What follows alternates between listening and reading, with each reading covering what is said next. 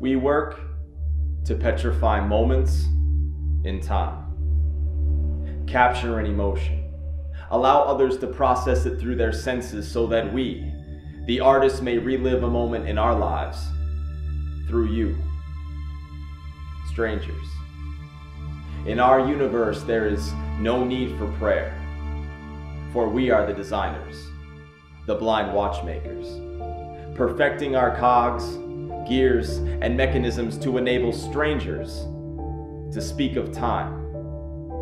A time where seconds felt like minutes, where divinity is felt through creativity, and lenses and syllables produce metaphorical incandescent power to illuminate epiphany, to incense intellection, and to inspire. We may not share common ancestry, vernacular, cuisine, but we all have a blood type, one that feverishly courses through our veins and tissue, seeking a point of respiration.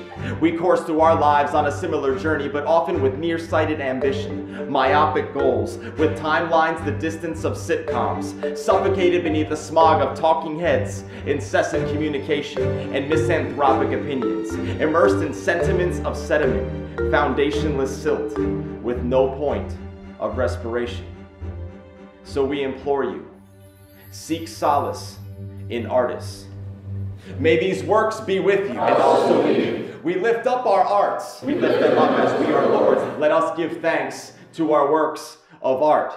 It is right to give them thanks and praise. The men and women that spin cultures counterclockwise, piercing the monotony of cellophane wrapped mundanity. Where carpenters saw and sand new periodic tables of emotion where no element is inert, only reactive. Where artists place their vulnerabilities on a crucifix for you to either lodge a spear into or worship. Let us be your gods, your saviors, or maybe you think us not divine, but I promise that far more have wept in your Savior's name than they ever have from paint, photography, or rhyme, but that's not what we want to be.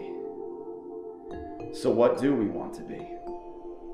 What we want to be is the painting on Einstein's wall, the novel in the Oval Office, the music in Stephen Hawking's headphones, the broken string on your guitar, the anxiety of a fourth grade clarinet player, graphite hues on a sketch pad, the rhythm in a congressman's knee, the defiance in Malala's voice, the spacebar of a programmer, the blood on a doctor's shoes, the fear of mediocrity, the weight of a milestone, the call to prayer at dawn, a callus of devotion, the march of a million men, church bells on a Sunday, a salute at the Olympics, the hips of Mother Nature, the chalk on a teacher's hands, a body of work accomplished, the song in your head, beers around the campfire, fists behind the bonfire, the silence of a ceasefire.